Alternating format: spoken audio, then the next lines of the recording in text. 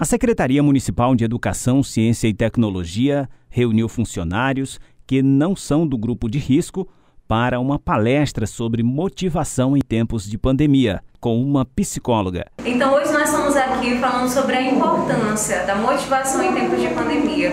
Considerando todo o cenário atípico que nós estamos vivenciando, falar sobre motivação se torna algo desafiador, porém essencial. Ainda mais no cenário que nós estamos vivenciando, a questão das mudanças emocionais que são notórias e a importância de validar também as nossas emoções, os nossos sentimentos e cuidar para que o medo, a ansiedade, o receio do novo, dessa readaptação que nós estamos vivenciando, que ela não possa vir alterar a nossa rotina de trabalho, a nossa qualidade no trabalho.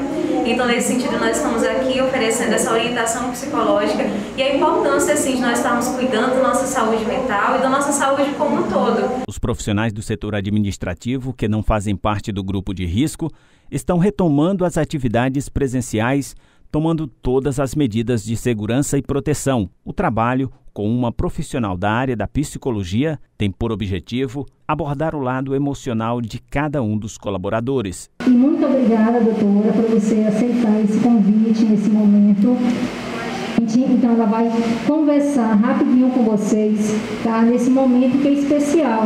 Especial por quê? Porque nós estamos retornando após um período né, que não foi fácil.